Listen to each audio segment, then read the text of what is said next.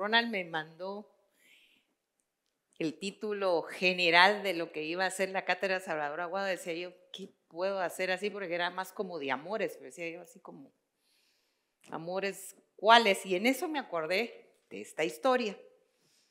Esta historia es parte de uno de los, es uno de los temas más bien que yo investigué en mi tesis doctoral y de verdad que siempre me ha fascinado. Es una que deberían hacer la película y ahí van a ver que tiene de todo para hacer de verdad una, una, una novela de, de intrigas y cosas. Entonces voy a iniciar aquí explicándoles un poco. Aquí tenemos, voy a hacer un entorno para entender en dónde está Casanova en medio de todo este tema de los liberales.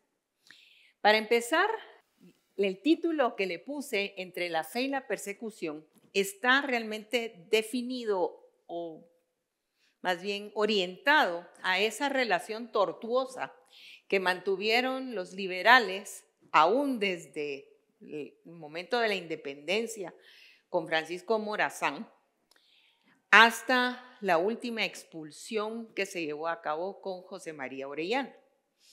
Entonces, la Iglesia Católica tuvo una relación muy complicada con los liberales por el, por, la, por el pensamiento que tenían los liberales en cuanto a la separación Estado-Iglesia. Para los liberales, la Iglesia se dedicaba a formar fieles en la fe, pero que no se metiera en el asunto público. No tenía nada que hacer metido en decisiones de Estado. Pero la iglesia venía acostumbrada, como recordaremos desde la época colonial y más atrás, la Edad Media, estaba muy involucrada en temas políticos, tanto en Europa como en América.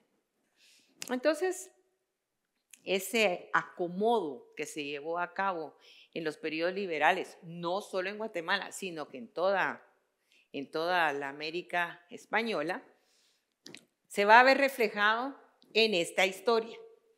Esta es una de, como les digo, es una historia novelesca. Y vamos a ver a Casanova, Ricardo Casanova y Estrada, que era guatemalteco. Entonces eso hace que todavía la historia sea un poco más tortuosa porque se conocían entre sí. Estamos hablando de una Guatemala de mediados del siglo XIX que, que debe haber tenido, si en, el, si en el censo de 1893 la población total de Guatemala era millón y medio de habitantes, ahora imagínense a mediados del siglo todavía eran menos. Entonces todo se conocía. Entonces, también de ahí viene un poco toda esta historia. Vamos a empezar haciendo ese entorno que le digo de la relación de los liberales con, con los arzobispos. El primer enfrentamiento que vamos a tener en este tema de la separación Estado-Iglesia va a venir de Francisco Morazán, liberal, presidente de la Federación Centroamericana, eh, con relación al arzobispo Ramón Casaus y Torres, que va a ser expulsado del país en la época de la federación, porque Casaus obviamente había sido uno, uno de los que no quería la independencia, después tiene que apoyar la independencia, pero aún así él no estaba de acuerdo con las reformas liberales. Recordemos que una de las reformas, varias de las reformas liberales van directamente enfocadas a quitarle a la iglesia esa autoridad que tenía. Una de ellas es la educación. La educación desde la Edad Media estuvo a cargo de la Iglesia. De ahí salen las universidades, los colegios mayores. Y Casaus ve con malos ojos el hecho de que Mariano Galvez, por ejemplo aquí en Guatemala, haya decidido que van a ser laicos los maestros y que no se va a seguir formando en las leyes de Dios, sino que va a ser una orientación diferente. En este punto creo que es importante recordar que en la visión de la educación para los liberales es formar al ciudadano, aquel que va a ayudar al progreso del país. Desde la Revolución Francesa, el tema de la educación era prioritario dentro de los liberales. En tanto que Casaus estaba totalmente consciente que la educación era para formar al, en la fe, a los fieles católicos.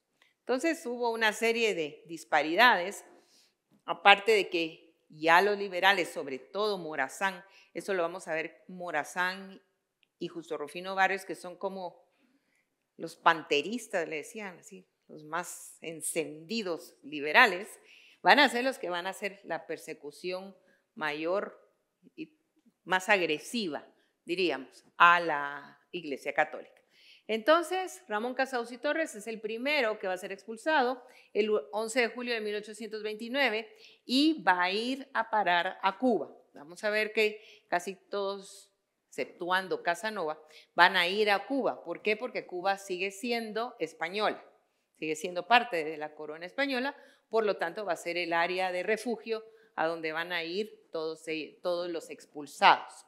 Recordemos que había un concordato entre la corona española y el Vaticano en relación a cómo se llevaban a cabo todos los, incluso los nombramientos de los arzobispos, sacerdotes en la América Española. El siguiente en esta, en esta lista es Francisco de Paula García Peláez. Él no fue expulsado. Sin embargo, es curioso porque a él le tocó todo el tema de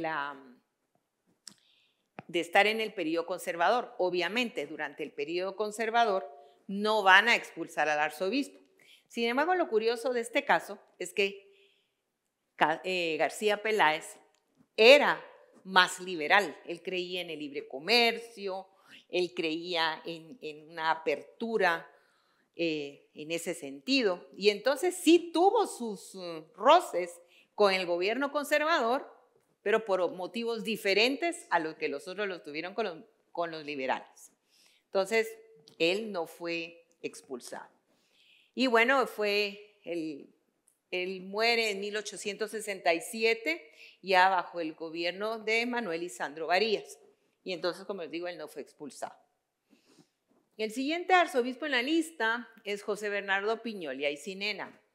Conserva, con los apellidos podemos ver que es un conservador absoluto, siendo arzobispo más. Entonces, a él le toca la transición porque le toca el final del periodo, del periodo conservador, pero le va a tocar el inicio del periodo liberal. Para una Isinena ser arzobispo empezando el periodo liberal fue un poco complicado, sobre todo porque vamos a tener a Miguel García Granados, pero que digamos que en ese sentido de la política con la iglesia, quien iba a estar ahí al frente era justo Rufino Barros, igual que Morazán, bastante agresivo en cuanto a su relación con la iglesia. Y José Bernardo Piñoya Aycinena fue expulsado el 18 de octubre de 1871. 30 de junio entraron los liberales. O sea, poco el tiempo le dieron para expulsar. Entonces, Guatemala se queda sin arzobispo. Porque Justo Rufino Barrios no quería renovar el concordato con la Santa Sede. Em, lo estuvo discutiendo, pero es aquellas discusiones que las van como demorando y que por una cosa las dejan y ponen otras prioridades. Y entonces, cuando venimos a sentir entre 1881 y, 1871 y 1885, que es cuando muere Justo Rufino Barrios, no vamos a tener arzobispo nombrado. Había una gran presión por parte de la Santa Sede para que se nombrara un arzobispo y ahí hay toda una correspondencia en relación a eso, pero Justo Rufino Barrios ahí lo estaba, lo estaba jugando ahí que se tardaba. Entonces, cuando Barrios muere en 1885, ya finalmente habían logrado el, enviado plenipotenciario de Guatemala en la Santa Sede, finalmente había logrado llegar a un acuerdo con Justo Rufino Barrios y ellos para el concordato, y este concordato pasó a la Asamblea Legislativa, que era la que lo tenía que confirmar. En ese momento, 2 de abril, 1885, muere en Chalchuapa, Justo Rufino Barrios, y engavetado el concordato. El concordato incluía el nombramiento del arzobispo. Así que nuevamente, sin arzobispo. Toma el gobierno Manuel Isandro Varías. Y Manuel Isandro Varías le toca a él, a él sí le toca ese tema de nombrar el arzobispo. Y entonces él, Manuel Isandro Varías, propone al padre Juan Bautista Raúl y Bertrán. Él había estado fungiendo como enlace durante todos estos años que no había arzobispo, había estado fungiendo como enlace entre Guatemala, la Iglesia Católica, si bien no era el arzobispo, pues él estaba cumpliendo como una función administrativa, diríamos de alguna manera. Entonces, Manuel Isandro Varías no, se veía molestado por la figura de, de Raúl y entonces decidió que lo iba a nombrar. Pero como nunca faltan las cosas, él muere el 31 de julio de 1885, después de que lo habían ya propuesto, nunca llegó a tomar posesión del cargo. Entonces el cargo seguía vacante. Luego de eso, Manuel Lisandro Varía se ve ya como un poco presionado, incluso por la opinión pública, para que nombre a otro arzobispo, y ahí es donde aparece la figura de Ricardo Casanova y Estrada, y lo nombra arzobispo, lo que tuvo el beneplácito de la Santa Sede. Este es el entorno, cómo llega, quiénes son. Ahora entremos de lleno a la fe y la persecución y toda la, toda la intriga. ¿Quién era Ricardo Casanova y Estrada y cuál es su relación fuera de esto que acabamos de ver con los liberales, que era mucho más profunda que esto que, que vimos? Primero que nada, él nace el 10 de noviembre de 1844 en la ciudad de Guatemala, falleció en Cantel Quetzaltenango el 14 de abril de 1913. Él era guatemalteco, es hijo de una familia de una clase media algo acomodada, que tuvo acceso a, educación formal de alto nivel e incluso ahorita vamos a ver, llega a la universidad. Pues era una persona que que sí, muy inteligente, esto es algo que hay que rescatar de él en cuanto a la biografía y todo lo que yo he leído de él, un hombre muy preparado. Y entonces, Casanova conocía personalmente a Justo Rufino Barros. Habían sido compañeros de universidad en la Universidad eh, de San Carlos estudiando leyes. Sin embargo, Casanova sí se gradúa de abogado y notario, mientras que Justo Rufino Barrios solo se graduó de notario, solamente sacó el título de notariado. Pero ellos se conocieron ahí. De hecho, narran por ahí eh, que José Mía y Vidaurre fue catedrático de ellos en la universidad y Batres Jauregui, otro connotado abogado, era parte del grupo de estudiantes de la universidad y se conocieron todos en ese, en ese proceso. O sea que vemos que sí había una relación bastante directa entre Casanova y Justo Rufino Barros. Casanova se gradúa de abogado y notario y empieza a ejercer un cargo en el ayuntamiento en la municipalidad. A él, él estaba encargado de legalizar títulos de agua. Eh, esa es una cosa que ya en la actualidad, pero habrá algunos aquí que se recordarán eso de la paja de agua, que tenía que estar, la casa tenía una paja de agua o media paja de agua y que estaba a nombre de una persona. Eso ya se ve y eso ya se hacía desde la época, de esta época del siglo XIX. En el momento de, las desamortizaciones eclesiásticas, que es cuando expulsan a las órdenes religiosas y quedan los conventos y otras propiedades de la Iglesia Católica, que fueron después subastadas por el gobierno liberal. Tenemos aquí a un personaje, Francisco la Infiesta. Francisco la Infiesta es un personaje muy importante de la época. Él eh, era el dueño del diario de Centroamérica y el guatemalteco. Él fue el que patrocinó a Rubén Darío para, para la publicación de Azul, cuando Rubén Darío salió huyendo de Nicaragua, El Salvador y llegó a Guatemala porque Darío era un liberal. Eh, y vino a poner aquí el diario de la tarde. Y entonces Francisco la Fiesta era como su mecenas, diríamos, en ese momento. Francisco la Infiesta compró lo que era el convento de la Escuela de Cristo. Aquí se los puse para que lo vean. Esta es una vista desde los campanarios de la catedral de la ciudad de Guatemala, más o menos en 1865, por ahí. Esto que está aquí en un círculo, aquí en este lado, esa es el ayuntamiento. O sea, ahí es donde trabajaba eh, Casanova. Ese es el portal del Señor, es donde hoy está el, el Palacio Nacional. Y allá en el fondo, esto era lo que estaba, esta es la arcada del, del Palacio de Gobierno, que es donde ahora está el Parque Centenario pero lo que yo circulé es lo que está atrás, donde, eh, como les dijera, en la actualidad es lo que uno mira enfrente del, se separa frente al Archivo General de Centroamérica y enfrente hay una casa y después un edificio medio abandonado ahí. Esa, toda esa área era la que ocupaba la Escuela de Cristo. Y entonces Francisco la Infiesta compró esa propiedad para poner ahí la primera, la, primera eh, sede de lo que va a ser el diario de Centroamérica, que todavía existe hoy, y la tipografía nacional.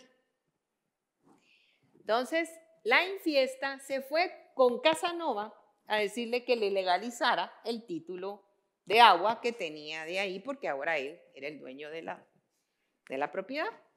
Y entonces Casanova le dijo que sí, que con mucho gusto, pero puso en, la, en el título de agua que en caso de que regresaran los legítimos dueños, o sea, la orden, em, el título regresaría a los legítimos dueños.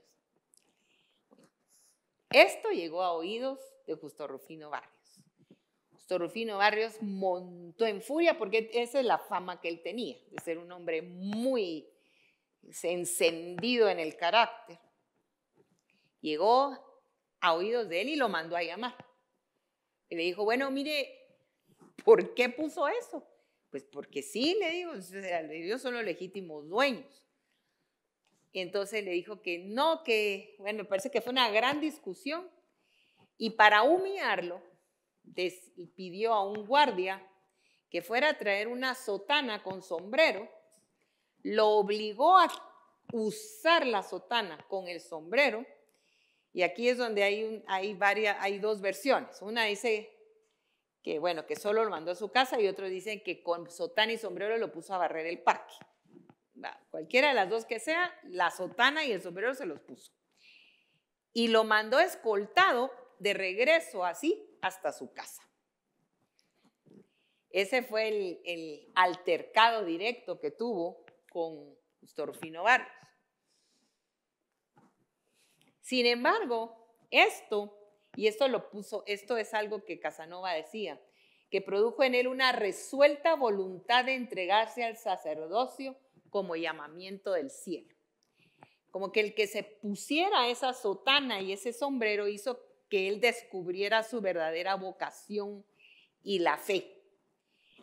Entonces decidió que él iba a estudiar para sacerdote, pero aquí en Guatemala obviamente no había, no había dónde. Entonces se traslada a Chiapas, donde primero se ordenó, donde se ordenó como deán, luego como sacerdote y regresa a Guatemala, ya convertido en sacerdote. Esto después de ese altercado con Justo Rufino Barrios.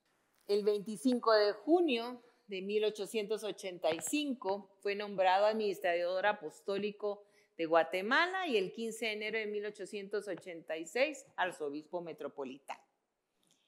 Y aquí tenemos estas son estas fotos que han estado viendo de Casanova, son fotos de estudio que le tomó eh, Juan de Jesús Yaz, que era un, un fotógrafo que después se trasladó a vivir a la antigua de origen japonés.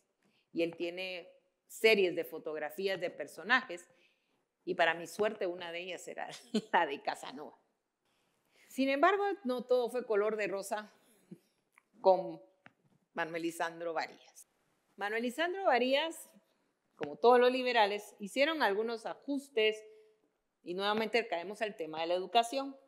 Y entonces dentro de lo que dentro de las lecturas obligatorias que puso en las escuelas públicas fue esto, Cartas de Eugenia del barón de Holbach. Casanova redactó una carta pastoral diciendo que eso era una aberración, lo que había hecho Varías. ¿Y por qué? Porque esta es una novela epistolar donde este, este personaje se, cruza cartas con una chica que quiere entrar a ser monja. Y a lo largo de ese intercambio de cartas, él la convence de que no se meta a monja y toda la el fundamento que le pone es considerado no solo anticlerical, sino medio ateo. Entonces, Bari, eh, digo, eh, Casanova reacciona terriblemente a eso.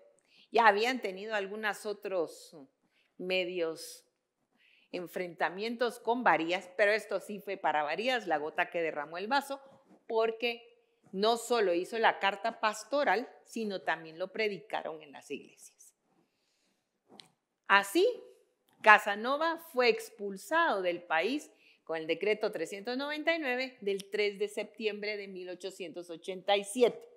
Así que ni dos años duró siendo el arzobispo aquí en Guatemala se trasladó eh, Casanova, ah, bueno, Casanova, como les decía, un hombre muy inteligente, él hablaba inglés, francés, tenía, era conocedor de varios idiomas. Se trasladó de Guatemala a San Francisco, California.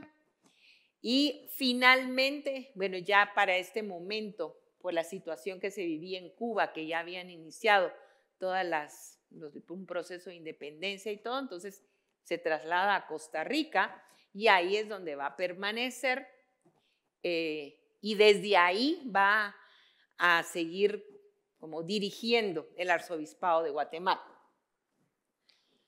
Em, así pasó a Europa también, pero a, Casanova, aquí es, aquí es la parte interesante, ven cómo se van conociendo unos a otros, ¿verdad? Entonces, la de Varías, la relación con Varías, bastante tortuosa, pero aquí viene la relación con Reina Barrios. ¿A quién comisionó Varías para que acompañara, dicho así literalmente? Lo acompaña desde el, el Palacio Arzobispal y se asegura que se suba al barco para que se vaya. Esa fue la orden directa de Varías. ¿Y a quién comisiona para que lo acompañe desde el arzobispado hasta que se suba al barco? a José María Reina Barrios. Entonces Reina Barrios va a traer al arzobispo al Palacio Arzobispal y se lo lleva por tren hasta Puerto Barrios. Es un viaje entre todo y todo, de haber sido unas seis horas, calculo yo. Durante esas seis horas, por lo que vamos a ver después, definitivamente se llegaron a conocer, se llegaron a conocer muy bien. Además que Casanova no era, era 10 años mayor que Reina, tampoco era una diferencia de edades muy grande y seguramente a lo largo del camino pudieron intercambiar opiniones de mil y una cosas, deben haber platicado, saber ni de cuánta cosa. Entonces Reina Barrios cumple con la, con la orden de montarlo y que se fuera. Bueno, en eso Reina Barrios asume la presidencia. Reina Barrios cumplía años el 24 de diciembre. Nació el 24 de diciembre de 1854. Y Casanova obviamente estaba en el exilio todavía cuando Reina asume la presidencia. Aquí les puse fotografías de, una de las cartas porque tuve acceso a la correspondencia que se, que se intercambiaron entre Casanova y Reina, que está en el archivo eh, de la curia, acá. Y ahí están las cartas. Desgraciadamente no está la serie completa, hay algunas que faltan, pero les puse esta porque refleja lo que Casanova hacía cada enero. Les digo que después de leer las cartas, digo yo, pobre hombre, ¿cómo le rogaba? Porque él dice, esta carta la manda en el 96, a principio del 96, porque durante la época de la, de la Constitución de 1879, y, y ha también entrado el siglo XX, se va a cambiar la, la Asamblea Legislativa, se cambia por mitad cada dos años. Entonces la mitad de la Asamblea se renovaba para hacer, para hacer un periodo total de cuatro años, una persona, pero cada dos años había, se cambiaba la mitad. En el 96 iba a haber nuevas elecciones para cambiar la mitad de los, de los diputados. Y entonces aquí le dice, dice, ignoro pues, esto está aquí, ignoro pues si daré algún nuevo paso para alcanzar la derogación de los decretos de mi destierro, pero siempre confío en que la benevolencia que usted me ha mostrado hasta aquí no ha de faltarme cuando llegue al supremo conocimiento del primer magistrado de la República este negocio, pues para mí tan importante. Todos los años le ruega que, lo, que interceda por él ante la asamblea para que lo dejen regresar. Y estas son las cartas que le manda. Aquí solo les estoy leyendo esta parte, pero la carta siempre empieza diciendo que le desea lo mejor para el siguiente año, que espera que su cumpleaños haya sido muy, que haya sido muy, que haya pasado muy bien. Toda una cosa y siempre empieza así las cartas. Entonces, esta vez, como iba a haber una renovación de la asamblea, él le manda a decir esto. Bueno, esta es la respuesta de Reina. Y aquí, se, sí se las transcribí aquí. En cuanto a usted, créame que no he dejado de tomar en consideración el estado de su ánimo con motivo de su prolongado destierro, porque hay que ver los, en, otras cartas la forma tan descriptiva y emotiva que él habla acerca de su destierro. Le dice el ostracismo que he vivido durante todos estos años, sintiendo no poder anticiparle juicio alguno acerca de si le fuere favorable o no el espíritu de la próxima Asamblea Nacional Legislativa, pero tampoco tengo motivos para creer que los diputados nuevamente electos para renovar la mitad de aquel alto cuerpo sean para usted sistemáticamente hostiles. Realmente eran los, eran Reina, Varías, Justo Rufino Barrios, el mismo Manuel Estrada Cabrera, los que influían directamente en el tema del destierro del, arzobispo. Eso no es que, que de verdad los diputados eligieran motu propio lo que había que hacer, no. Realmente venía del presidente. Entonces Reina, con toda la cortesía del caso, dice que eso no está en sus manos el poderlo, el poderlo controlar. ¿Bueno? siempre en el exilio, en 1896, Casanova va a hacer una nueva carta pastoral.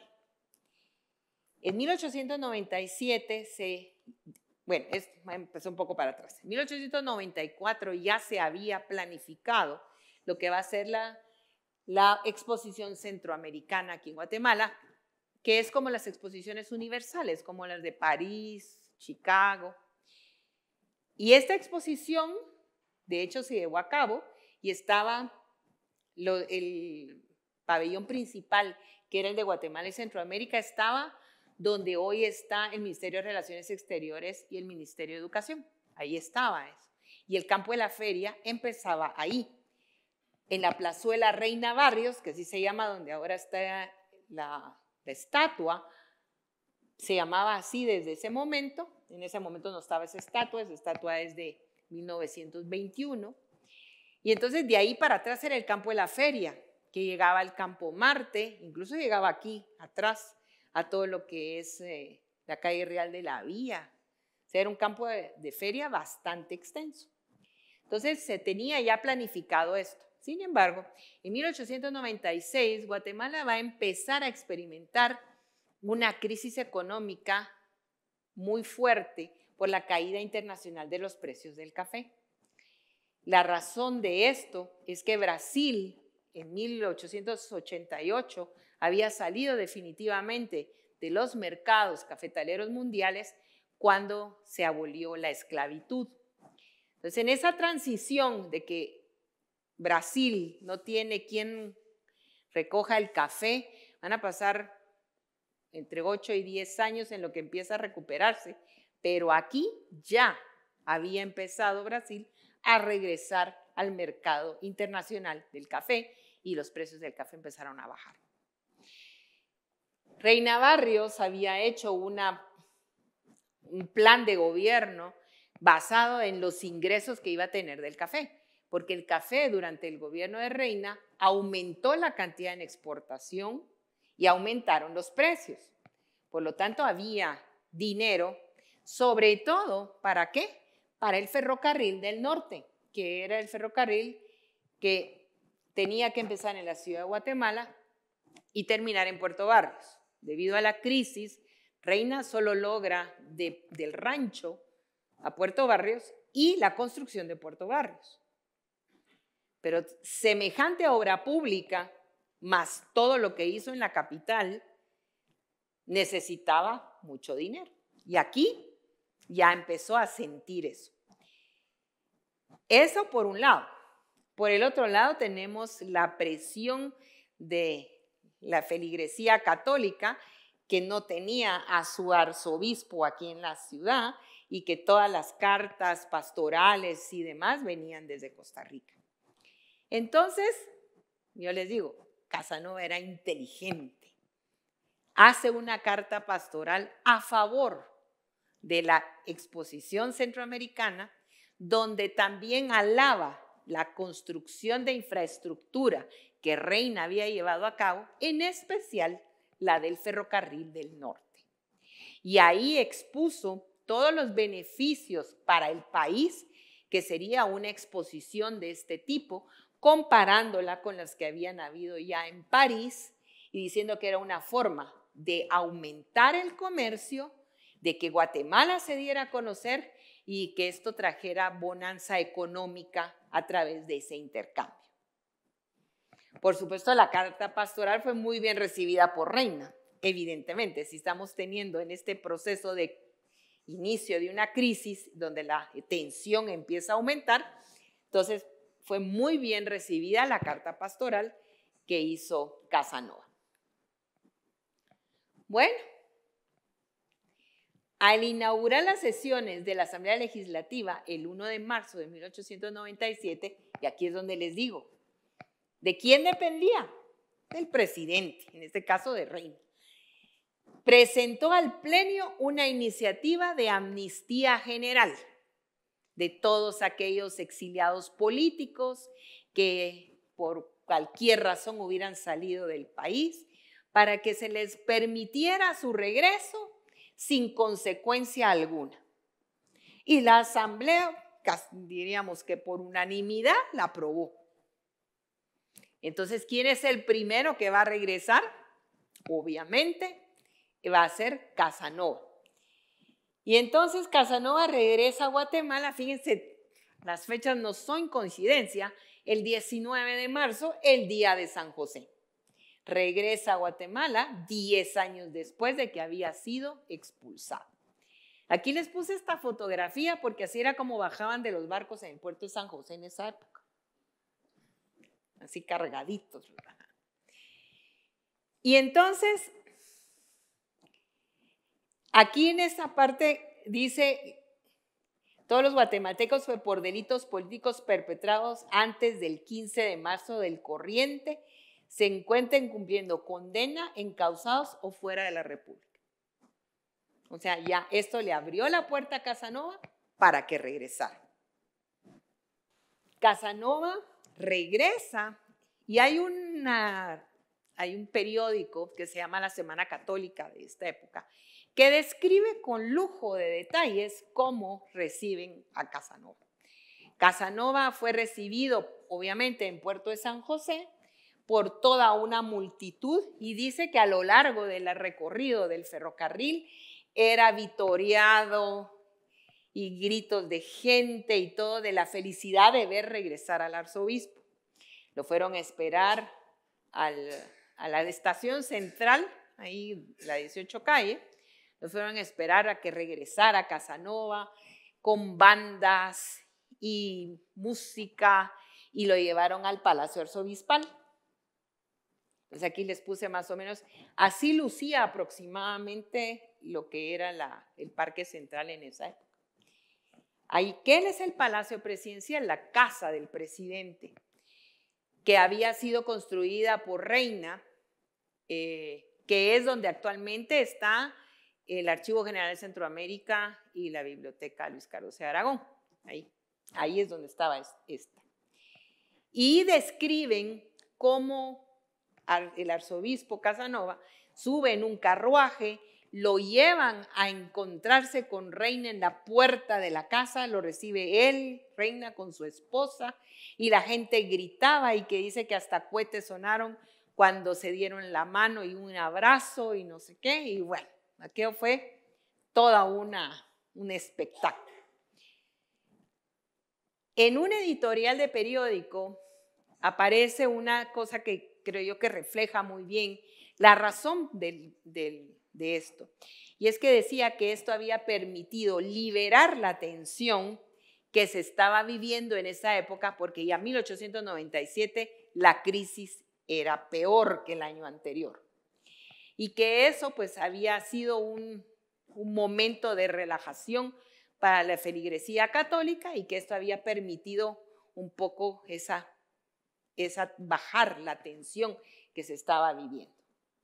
Este es el telegrama donde Reina le manda a decir a Casanova que le da las felicitaciones y lo recibe de vuelta en Guatemala. Y dice, agradezco el, el atento saludo que se ha servido dirigirme y lo felicito por estar en el seno de la patria. Y entonces con ese telegrama lo recibe el 19 de marzo de 1897 y Casanova regresa. Sin embargo, como les digo, la tensión aumenta a lo largo de esos meses, entre marzo y septiembre, van a darse varios eventos cruciales en Guatemala. El primero va a ser eh, bueno, la feria centroamericana, que no obtuvo realmente los resultados deseados. Y entonces la crítica era feroz contra Reina, que había estado malgastando el dinero en esa cosa y que bueno. Eso fue lo primero. Lo segundo fue que Reina, y esta es una de las cosas que cuando yo estaba investigando decía yo, ¿qué le pasó? O sea, si también que veníamos y de pronto perdió el norte decidió disolver la Asamblea Legislativa, disolver la Corte Suprema, convocar a una Asamblea Nacional Constituyente para hacer cuatro decretos, uno de los cuales era ampliar su periodo presidencial. Sin embargo, él ya había convocado a elecciones para enero del 1898. Y dentro de los candidatos a la presidencia del Partido Liberal estaban Próspero Morales, Próspero Morales, el nombre completo era Próspero Morales Reina, de San Marcos también, seguramente pariente de Reina, eterno ministro de él en diferentes áreas. El otro, Daniel Fuentes Barrios, nada más y nada menos que su cuñado, casado con su hermana. El otro, José León Castillo, él era originario de Oriente, ellos eran los tres candidatos liberales para la presidencia de enero. Esto es importante y ahorita vamos a ver por qué. Y en los, el otro decreto, los otros decretos fueron, digamos, sin mayor trascendencia, salvo uno que empezaba nuevamente con el tema de la Unión Centroamericana. Bueno, como reina en agosto suspende las elecciones y amplía su periodo presidencial hasta 1902, aquí ocurren dos cosas. La primera, y que tiene que ver directamente con esto, es que va a haber una sublevación en Occidente en septiembre del 97. ¿Quiénes se le sublevan? Su cuñado, Daniel Fuentes Barrios y su eterno ministro, Próspero Morales. Son los cabecillas de la insurrección en Quetzaltenango y esta, y esta insurrección en Quetzaltenango no solo es Quetzaltenango, es Los Altos. Los Altos que significa Quetzaltenango, Totonicapán, San Marcos, y toman la cabecera de Quetzaltenango durante 15 días. Ahora, en la toma de Quetzaltenango hubo un incidente muy serio. Y es que ya en ese momento, bueno, desde el principio del gobierno de Reina, el, el ministro de gobernación era Manuel Estrada Cabrera. Y Manuel Estrada Cabrera tenía una rencilla especial contra la familia Aparicio. Acusaron falsamente a don Juan Aparicio de haber sido el cabecilla del levantamiento junto con Sinforoso Aguilar, que era el alcalde, los acusan de ser los, los cabecillas de la insurrección, los toman presos y en el siglo XIX y hasta bien entrado el siglo XX, el castigo por un acto de sedición era ser fusilado. Aquí y en todos lados. O sea, eso no es una cosa extraña, así era. Y entonces, obviamente fueron condenados a ser fusilados. El hermano de don Juan Aparicio, Manuel Aparicio, que vivía aquí en la capital, fue a hablar con Reina a pedirle el indulto, que era el único que se lo podía dar. Y aparentemente Reina sí dio el indulto, pero Manuel Estrada Cabrera retrasó el envío del telegrama y cuando el telegrama llega a Quetzaltenango ya los habían fusilado. Entonces, por supuesto, ya para este momento, ahí ese fusilamiento se da precisamente en, en la noche de la sublevación y van a estar apoltronados en Quetzaltenango 15 días. Entonces, Reina manda a las tropas de gobierno que logran finalmente desmantelar la ocupación de, de Quetzaltenango tanto Fuentes Barrios como Próspero Morales tienen que salir de Guatemala vía San Marcos para Tapachula y esa área de ahí, porque si no, también los iban a fusilar en un acto de sedición. Entonces la tensión ya había llegado a un grado extremo en ese momento. Manuel Estrada Cabrera se en ese momento, Reina Barrio se da cuenta de quién era Manuel Estrada Cabrera. Y Manuel Estrada Cabrera, como él había disuelto la Asamblea Legislativa y no había habido una renovación todavía oficial de la, Asamblea de toma de posesión nuevamente, que iba a ser hasta, hasta el 1 de marzo de 1898, el primer designado a la presidencia era Manuel Estrada Cabrera. O sea que si algo le pasaba a Reina entre ese momento y el 1 de marzo de 1898, Manuel Estrada Cabrera asumía la presidencia. Entonces, si sumamos A más B, yo sigo insistiendo que que quien fue el que orquestó el asesinato de Reina debido a todo esto fue Manuel Estrada Cabré. Entonces, el 8 de febrero de 1898, Reina Barrios es asesinado por Edgar Solinger. ¿Quién era Edgar Solinger? Administrador de una de las fincas de los Aparicio, gran amigo de don Juan, y que aparentemente fue asusado por Manuel Estrada Cabrera para que cometiera este crimen.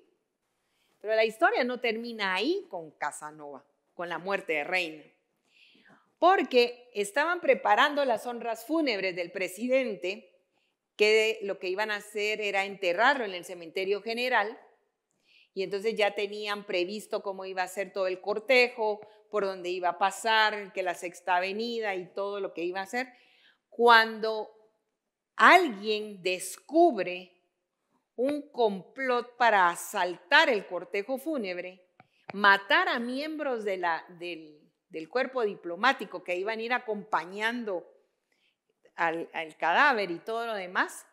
Y entonces Manuel Batres Jauregui, que aquí lo tenemos, que ya habíamos hablado de él, llega con Manuel Estrada Cabrera, que ya para ese momento era el presidente interino, bueno, estuvo de interino 22 años, y entonces llega, llega y le dice a Estrada Cabrera, le dice, mire, hay un complot. ¿No cree usted que ya fue suficiente el hecho de que maten al presidente? Ya es como demasiado como para que vaya a haber un ataque al cortejo fúnebre y encima de todo a miembros del cuerpo diplomático. Entre paréntesis hay quienes, ya hay varias versiones de eso, dicen que quien estaba detrás de ese complot era Manuel Estrada Cabrera. Vamos a ver, pero eso por ahí lo decían. Y entonces le dice, bueno, ¿y usted qué propone? Le dice Estrada Cabrera a Jauregui, a Batres Jauregui. Y entonces Batres Jauregui le dice, vamos a hablar con Casanova para que permita que lo enterremos en catacumbas de catedral. Y entonces le dice, bueno, ¿y usted cree que Casanova va a permitir que un masón de alto grado sea enterrado en las catacumbas? Pues nada nos cuesta preguntar, dijo, porque eso es mejor que, que suceda una masacre como esa en la calle. A no sé quién enviaron a hablar con Casanova y Casanova le dijo que sí que le daba su nicho para que lo enterraran ahí. Y hasta la actualidad, Reina está enterrado en catacumbas de catedral. El 1, que ya viene el 1 de noviembre, 1 y 2 de noviembre está abierto. Y yo siempre digo que ahí debe ser un relajo en la noche, porque Reina está enterrado, uno se para en el pasillo y está, uno puede, porque ahí son como calles y avenidas. Y entonces está recto de donde está Reina, está enterrado Rafael Carrera y Serapio Cruz. Están todos así alineaditos. Debe ser alegre ahí en la noche. Y entonces en las criptas de catedral permanece hasta hoy eh, Reina Barrios enterrado. Se suponía que iba a ser provisional, pero nunca hicieron nada y nunca salió de ahí. Por su parte, Casanova eh, le tocó lidiar con Manuel Estrada Cabrera, solo que ya los años y la experiencia de haber tenido que lidiar con Justo Rufino Barrios, con Manuel Isandro Varías, con Reina no, porque Reina realmente una de las cosas que él no tuvo fue una persecución sistemática a la iglesia. Estaba más interesado en otra cosa que en eso. Entonces no hubo ahí mayores problemas con él, solo que la rogadera y nunca lo dejaba regresar.